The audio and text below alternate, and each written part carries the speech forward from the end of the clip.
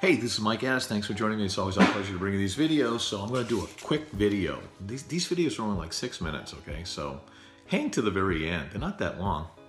And sometimes the good stuff is right at the very end. So this is about a simultaneous close on a real estate transaction. What's a simultaneous close?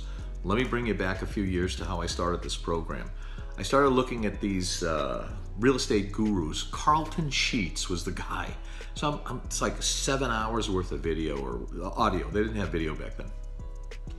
Long story short is I decided if I'm going to buy real estate, why can't I make money when I buy it, not when I sell it? Why can't I buy and close on the deal the same day and make money when I purchase the property?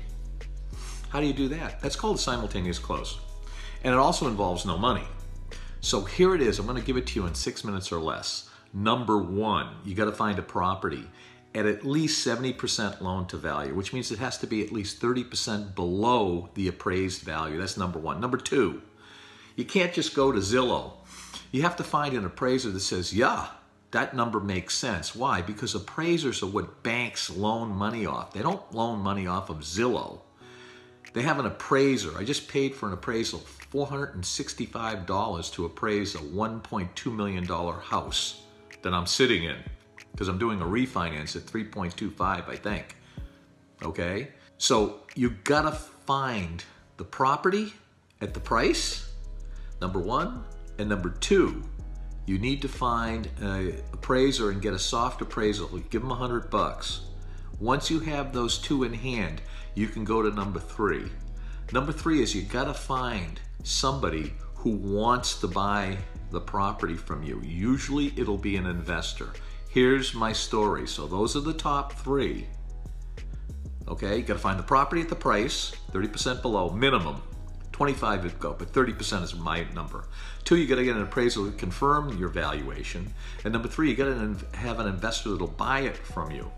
I did like, I don't know how many properties I've done like this, maybe 50, 60, 70 properties. Okay, this is the deal, and this is how you cash out. So several years ago, I found a lady that didn't want it. That's number four. You want a don't want her. That's very important. You got the first three. Now the fourth one is somebody that doesn't want the real estate. They're dying. I had one guy that had cancer. He wanted to move back to, he's in Las Vegas, wanted to move back to Chicago and die with all the family. I had one person uh, that was getting going through the divorce. This is this lady. So the house is worth 400,000. I'm buying it 30% below the 400,000. I got to buy it at 280. 30% from 400,000, three fourths is, is 120 grand. So that's 280.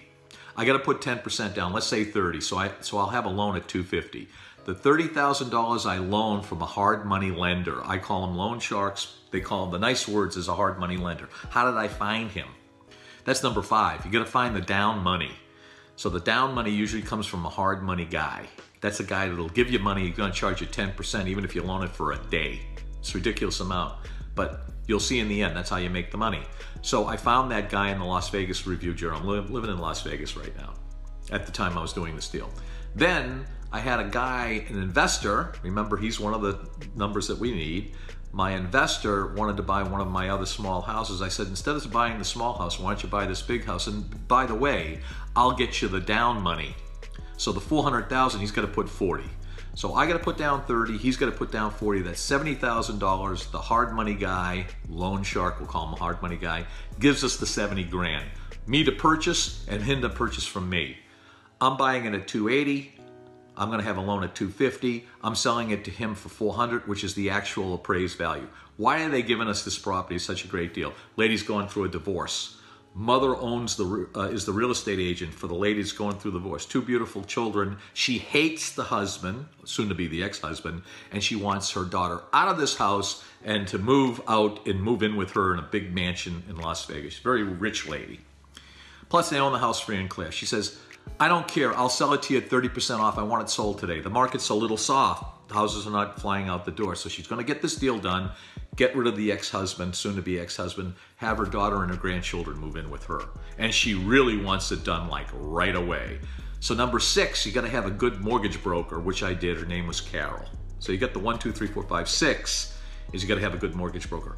Bing, bang, boom You got to have a title company, number seven. The title company knows how to put the transaction. I buy the property on day one. We put the $70,000 down that the loan guy gives us. So we're out of pocket zero. Okay? The house is worth 400. He's buying it from me at the 250. You with me? So that's 50, that's 150,000. We give the 70,000 back to the loan shark plus is 10%, which is 7 grand. Let's say we give him 80,000, that leaves 70,000 for the both of us. We net cash 70,000. I have it in my account because he's I'm buying it, he's buying it from me at the same time. Within minutes. We're there together in the title company. We got 70 grand. I only take 10%, uh, excuse me, 20% of this deal. I took 14, let's say 15, and he took the other 60.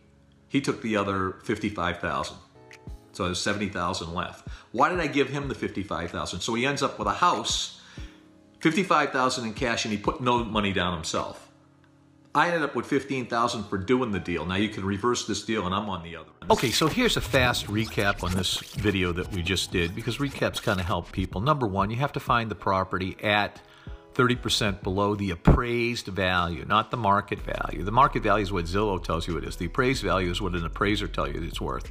And you got to pay the appraiser 50 or 100 bucks. Sometimes they'll find the properties for you because they just have to do very little work and they, they give you what's called a soft appraisal. So first you got to get the property. Number one. Number two, you got to come in with the down money. You got to come in with the money. If you don't have the cash yourself to purchase the property at 30% below, then you got to find hard money lenders. So that's number two. Number three, you have to have an investor, someone who's going to buy the property from you. But the investor, that's number three, has to have good credit.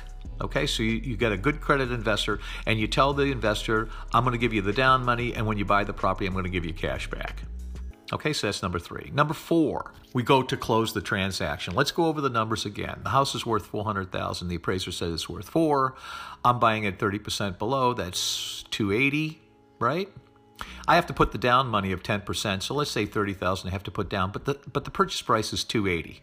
Okay, that's what I bought it for. I'm selling it to the investor for 400. I'm giving the investor 40 grand to put it down money. So that's my money. I get that back at closing. So my purchase is 260, 280, I'm sorry, and they have a loan of 360.